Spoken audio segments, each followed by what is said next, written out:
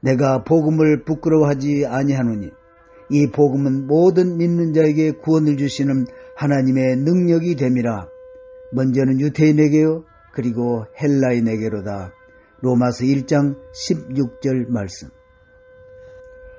이스라엘 국토방위군 IDF의 코로나 팬데믹 이후 열린 첫 행사에서 신약과 구약 성경을 포함한 히브리 성경을 들고 있는 한 군인의 모습이 찍힌 사진이 이스라엘 IDF의 인스타그램에 올라오면서 큰 화제를 불러 모으고 있습니다.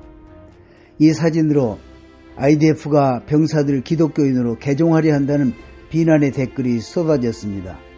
모든 기독교인들이 구약도 하나님의 말씀으로 믿고 있음을 알지 못하는 많은 이스라엘 사람들은 신약 성경이 타낙 구약 성경과 같이 있는 것에 대해 분노를 나타냈습니다.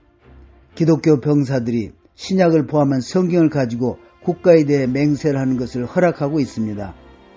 유대인 병사들은 타낙 구약 성경을 가지고 행사에 참여합니다.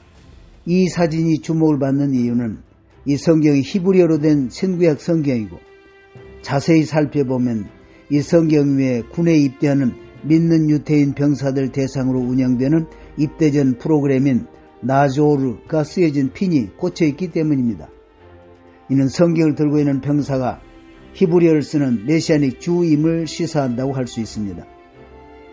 이스라엘 뉴스 채널인 채널 20에 따르면 군인들에게 기독교 문서가 배포되었다고 보고되었다고 합니다. IDF는 이 선교 활동에 대한 보고를 심각하게 받아들이고 있다고 말했습니다.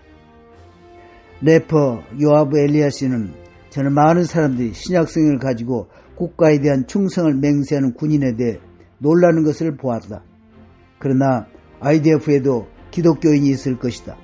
이는 결코 이상한 일이 아니며 개인이 자신이 믿는 것으로 맹세하고 그들의 생명을 다해 이스라엘 땅과 이스라엘 국민들을 보호하고자 서약하는 것은 자연스러운 것이다.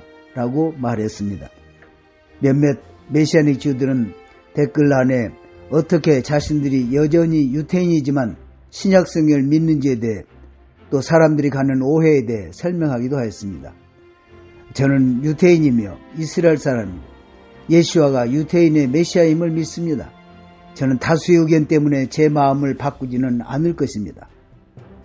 댓글을 보면 이스라엘의 메시아 그리스도의 몸 안에 믿음을 굳건히 하고 그 믿음에 자부심을 갖는 젊은 사람들이 있다는 것에 큰 감명을 받았습니다. 계속합시다.